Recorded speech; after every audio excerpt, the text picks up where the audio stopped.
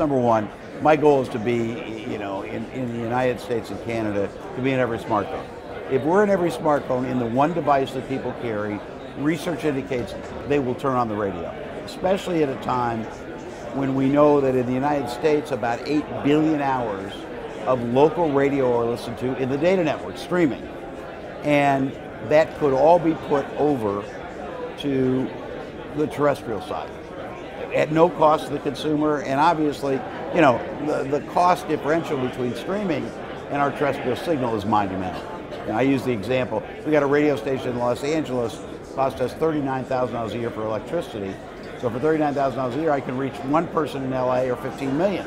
But if I took my tower down and I transmitted through the data networks, my cost to reach my listeners would be over a million dollars a year, and my listeners' cost would be more. So $39,000 versus two, $2 million, and that doesn't even include music licensing costs. So we know that if the radio's there and consumption is free, that people will listen more. So that's one. The other part I didn't get into is that we have the ability with the interactive tuner in smartphones to do interactive advertising, coupons, location-based services.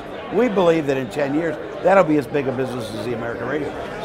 Well, I, I think it might even be bigger. Yeah. So um, less so, time than that. Yeah. So so we think that's the that's the future. That's why. But we have to be in every device. We're now going to be in automobiles with this. We're going to be now in, in, in tablets.